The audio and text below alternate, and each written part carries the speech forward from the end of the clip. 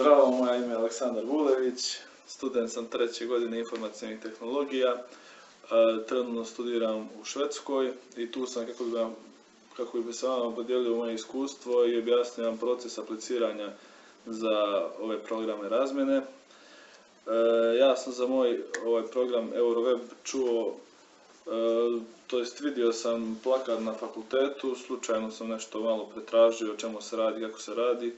Vidio sam da nude jako dobre uslove za razmjenu studenata.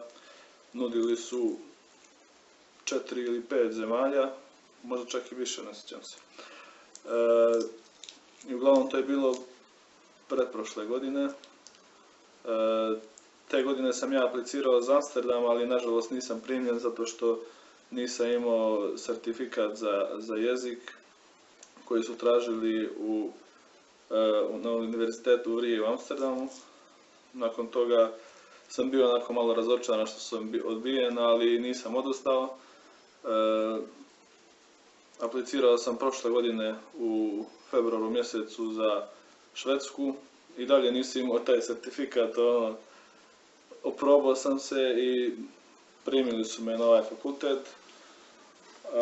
Što se tiče samog apliciranja, ja sam lično očekivao da će biti- neki malo poteškoća, ali u stvari to nije ništa, ništa specijalno. Napisao sam svoj CV, a, otišao na fakultet, e, pitao profesore da mi napišu preporuke, napisao sam motivaciono pismo, e, izvadio prepis ocjena i to sve sastavio u jedan PDF file, ubacio na taj sajt gdje su se vršile aplikacije i poslao. Nakon par mjeseci stigao mi odgovor da sam primljen i to vam je otprilike to što se tiče samog apliciranja. E, nakon toga, em, da se sjetim kako je išlo. Nakon toga su nam oni počeli slati neke mailove vezano za određivanje predmeta koji ćemo slušati u, drugoj, u ovoj zemlji, e, neke informacije za smještaj, rezervisali smo te domove i ta čuda. I nakon toga je bukvalno bilo cijelo ljeto odmora.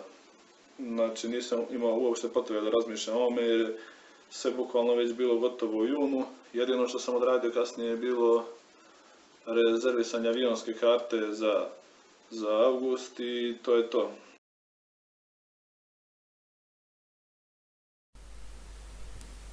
Univerzitet Malardalen je osnovan 1977. godine, a danas broji oko 12.000 studenata, od kojih je većina smještena u Westerosu gdje ja studiram i manji dio koji je smješten u Eskilstuni. E, kod univerzitetske zgrade najviše mi se svidjelo to što je e, puno nekih e, crteža koji oslikavaju e, cikluse u životu, e, predavanja na fakultetu su također drugačije organizovane nego, kao, nego kod nas. E, na primjer, jedan predmet drži čak do 10 profesora, dok kod nas je slučaj da predmet drži jedan, najviše dva profesora. E, univerzitet ima ogromnu biblioteku u kojoj možete naći sve što vam je potrebno i radi svakim danom do 10 sati uveče. E, pored toga, ne znam šta bih vam rekao što se tiče Westerosa, malo je hladnije nego kod nas dolje. Tipa temperatura danas dva- 23. septembra je bila oko 5 stepeni, ono već se naveliko nose kape, jakne i čuda.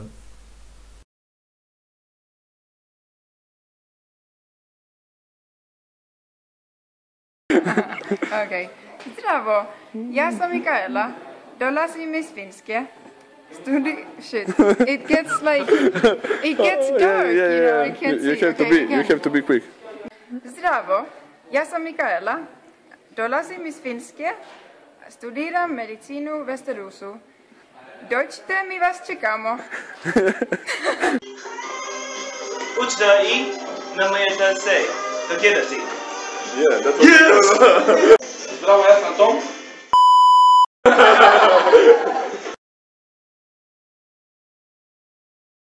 Ćao, ja sam Ivana Ščekić, dolazim iz Podgorice, student sam na razmjeni poslovnog engleskog jezika.